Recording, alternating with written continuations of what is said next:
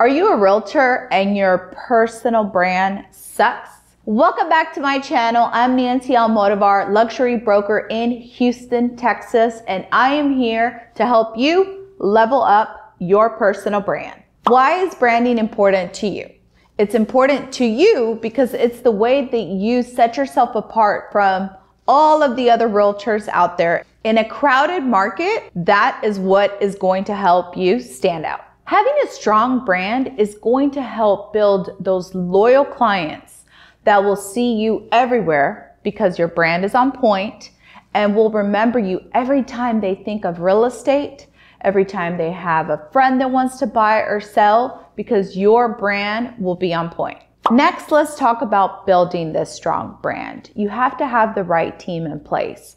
And that has to do with a photographer, a videographer. Make sure that you find those right individuals, those professionals that take the right pictures, that make the right video, and that are professional enough so you can build that brand. And if you join the right brokerage in your city, a lot of the full service brokerages offer this already. So when you're interviewing, make sure to ask if they already have that in house. And if they don't, if they recommend a photographer or videographer because that is going to be very important when building a brand.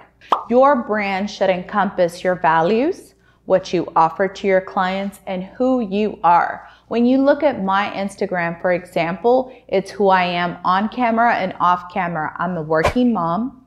I'm a daughter.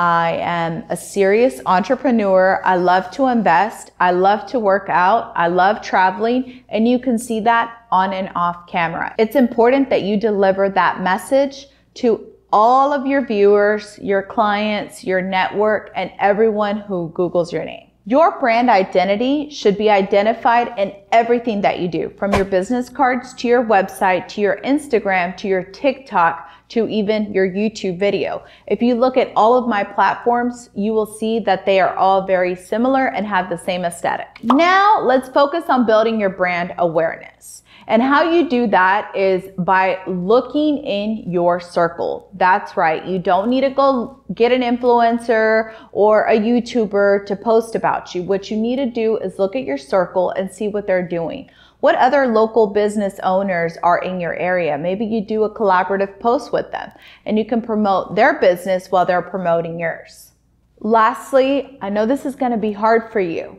You have to be consistent. You can't expect to post one thing and for it to go viral. You have to continue to post consistently. Either it's every day or every other day, but you can't just have one photo or one video and then you disappear.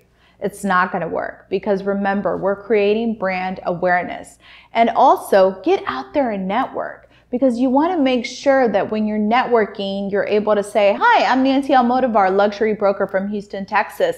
Please follow me on Instagram. I'd love to do business with you, connect with you, or build a source of referrals. So in conclusion, building a brand is very important for any realtor that wants to be successful. You want to make sure that when your clients, friends, or family members think of you, they think of that professional, trusted individual. Thank you so much for watching. Make sure to subscribe, like, and leave a comment below and let me know if this video was helpful for you.